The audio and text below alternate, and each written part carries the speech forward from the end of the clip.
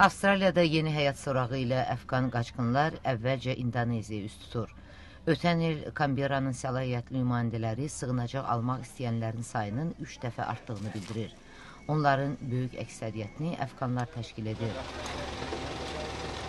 Qaçqınların çoxu gənc, savadlı və təcrübəli insanlardır. Onlardan biri üzünün göstərilməsini istəməyən Nəcibulladır.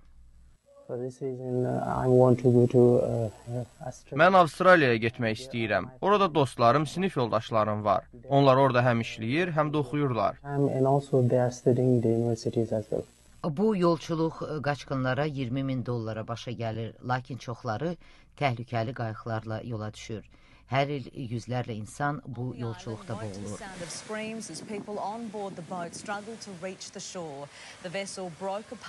Suların təhlükəsinə baxmayaraq, əfqanlar xarici qüvvələr ölkəni tərk etməyə başlayınca qaçmağı düşünür. Əfqanistanın Daxili İşlər Nazirliyinin Interpol şöbəsinin müdiri Əminullah Amarxil. Bir çox əfqan xarici qüvvələrlə işləyir. Onlar ingiliscə rahat danışır, kompüterdə işləyirlər.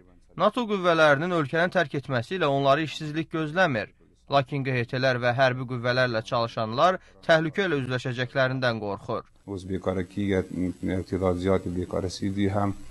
Üç ay əvvəl Məhəmməd Əkrəmin 15 yaşlı oğlu Yahya qohumları ilə birgə İrana qaçıb. Daha sonra o BMT yolu ilə Türkiyədə məktəbə başlayıb. Əkrəm oğlundan bundan sonra telefonla xəbər alıb. Mən ona BMT məktəbində təhsilini davam etdirməsini söylədim. Lakin o dedi ki, o Avropaya gedəcək.